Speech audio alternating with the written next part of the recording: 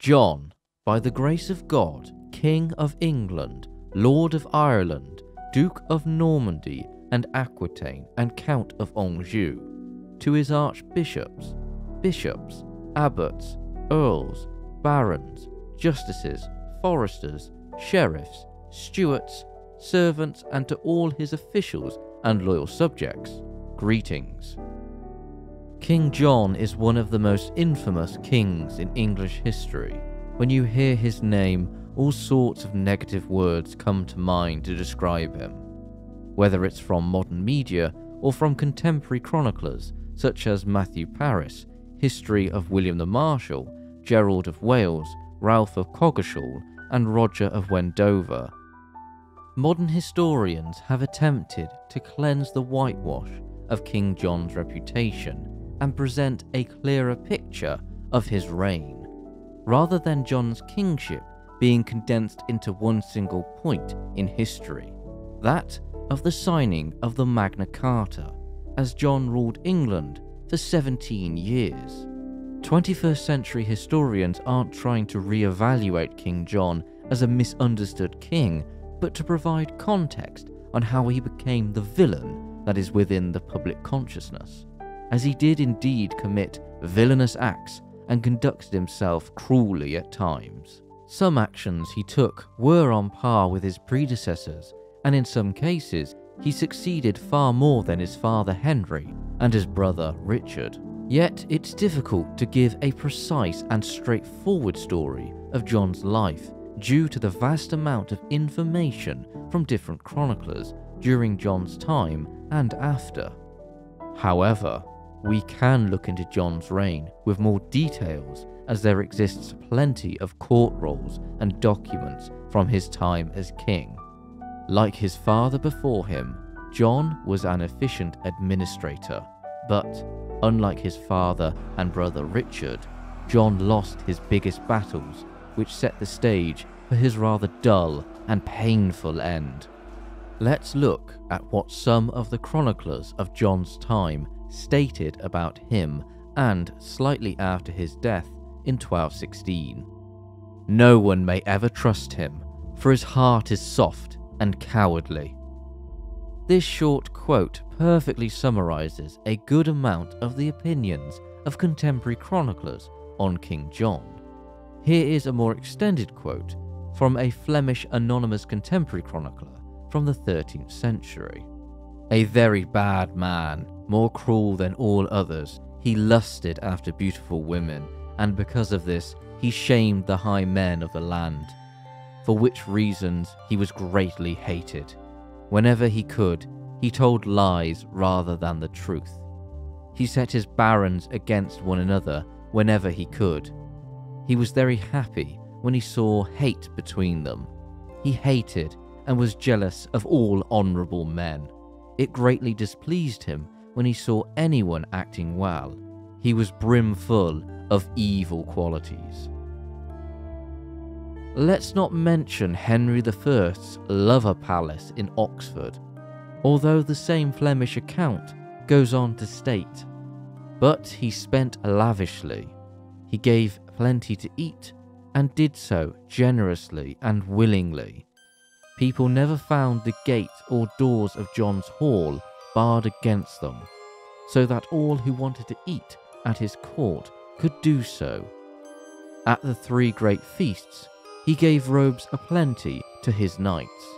This was a good quality of his.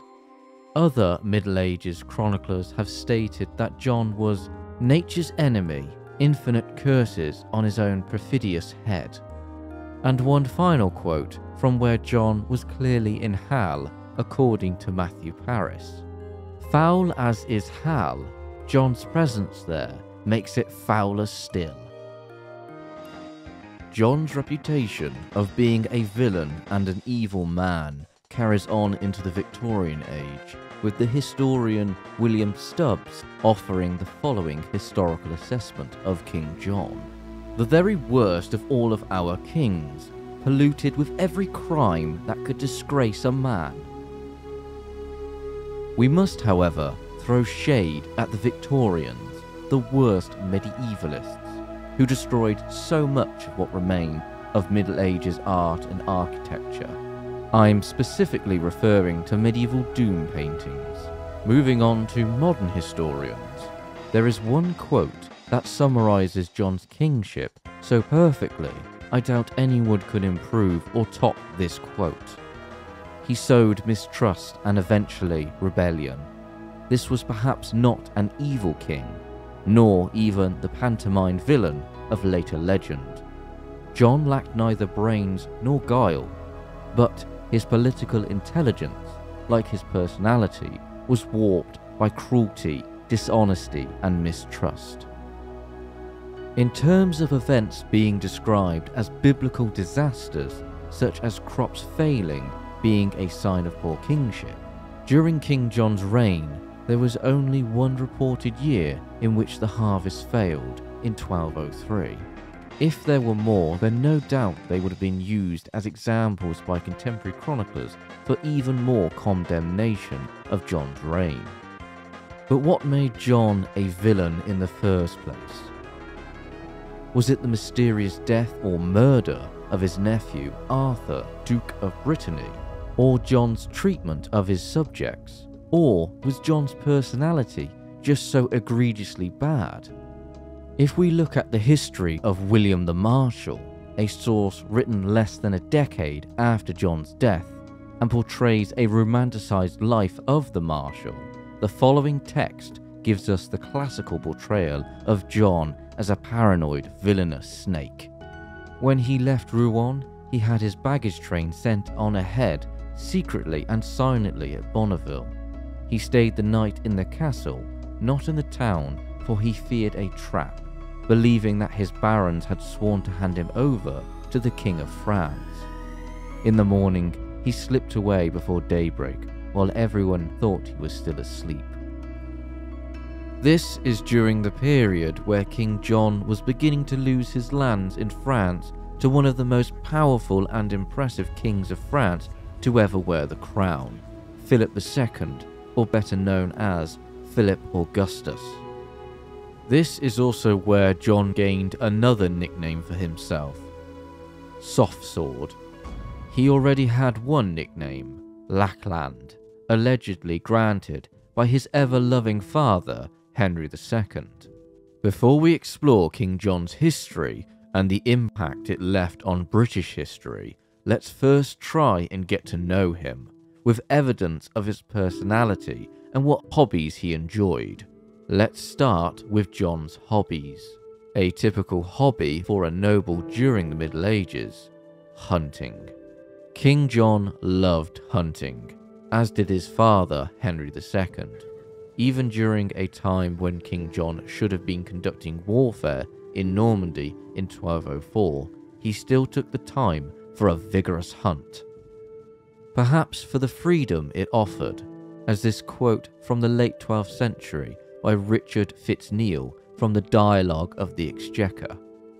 It is in the forest, too, that king's chambers are, and their chief delights, for they come there, laying aside their cares now and then, to hunt, as a rest and recreation. It is there they can put from them the anxious turmoil native to a court, and take a little breath in the free air of nature. John made sure he would have a good hunt in Normandy, as he imported wild animals such as foxes, otters, badgers, deers, and even wild boars to be hunted with hounds or birds of prey, which leads us to John's next hobby, falconry. John was quite attached to his birds of prey, and one particular falcon, named Gibbon, was John's favourite.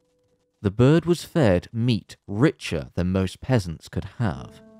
King John ordered Gibbon to be well fed with plump goats and good hens, with hare once a week.